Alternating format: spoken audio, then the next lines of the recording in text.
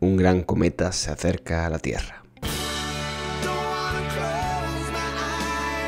no te preocupes que no va a pasar nada. Lo único que sí vamos a poder disfrutar de la belleza de este fenómeno. El cometa C 2021 A1 Leonard va a ser visible a simple vista, se supone, en diciembre. De hecho, le están llamando ya el cometa de la Navidad. Y es que va a ser eh, un cometa pues muy interesante, pues como todos los cometas que son tan brillantes, ¿no? El año pasado tuvimos la suerte, en 2020, de eh, poder visualizar y poder fotografiar el cometa New Wise y bueno, fue un espectáculo visual impresionante. En este caso se supone que el cometa va a ser un poquito menos brillante y aparte va a estar demasiado bajo en el horizonte, pero aún así seguramente podamos disfrutarlo, tanto en el hemisferio norte como en el hemisferio sur. Y ya que estamos vamos a aprender un poquito más sobre la denominación de los cometas, porque si os dais cuenta siempre que sale un cometa se habla del nombre, el New Wise, en este caso el Leonard, pero ¿por qué tiene esa nomenclatura tan extraña en plan de C barra 2021 un nombre... Bueno, pues todo eso tiene la siguiente denominación. Lo primero es que esa C que sale en este cometa, en el cometa Leonard, ese C barra 2021, pues la C significa que es un cometa no periódico. Y el 2021 significa pues el año de descubrimiento de, dicho cometa, ¿no? En este caso, el Leonard se descubrió en 2021. El A1, ¿qué significa el A1? Pues realmente se le va poniendo letras a cada quincena de mes, ¿no? Entonces, en este caso, como se descubrió en la primera quincena de enero, pues sería la A, que sería la primera quincena del año, ¿no? Y después el 1 es el orden en el que se descubren. Si, por ejemplo, en la primera quincena de enero se hubiera descubierto 3 y este fuera el tercero, pues sería A 3. En este caso es A1, pues por, lo dicho, ¿no?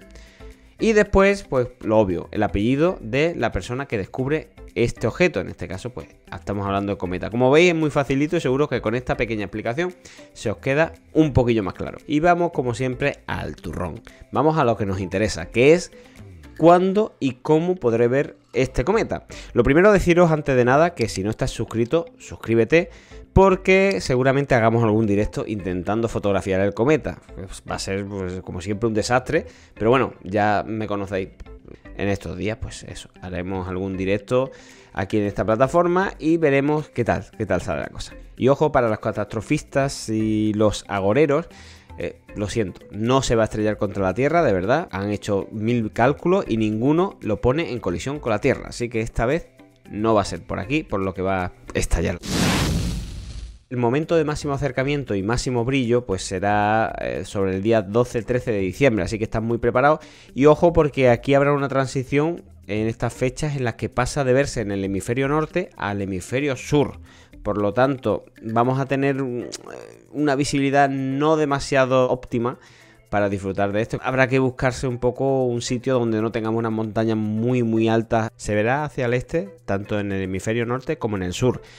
Eso sí, en el sur pues se irá viendo progresivamente conforme van pasando los días de diciembre, a partir de ese 12-13. Estos últimos días de noviembre ya es más brillante, ya se pueden ver con ciertos telescopios, pero será en el momento del día 10-12 de diciembre cuando este cometa explotará su brillo y será visible a simple vista. En los primeros días de diciembre será visible por la constelación de Boyero, pero cuando aumente su brillo estará rozando la cabeza de serpiente. A partir de ahí será visible a simple vista. Para verlo solo tenéis que mirar hacia el este antes del amanecer, como hemos dicho antes.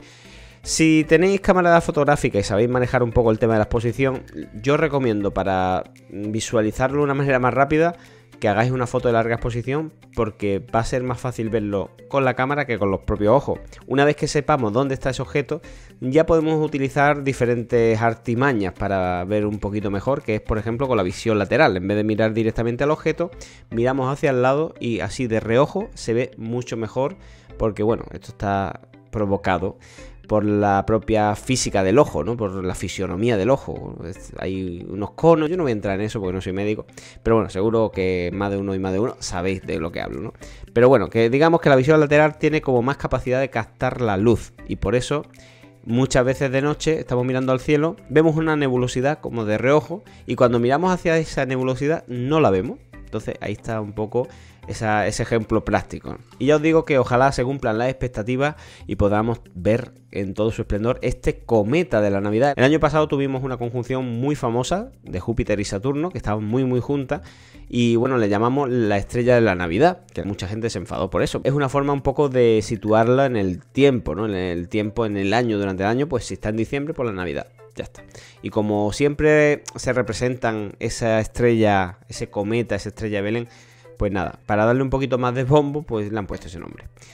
Pero bueno, eh, cualquier duda que tengáis, eh, si sois de algún país en el que no sabéis cuándo se va a ver, mm, si pensáis cualquier cosa, si tenéis alguna opinión, pues podéis escribirla abajo en el cajón de comentarios.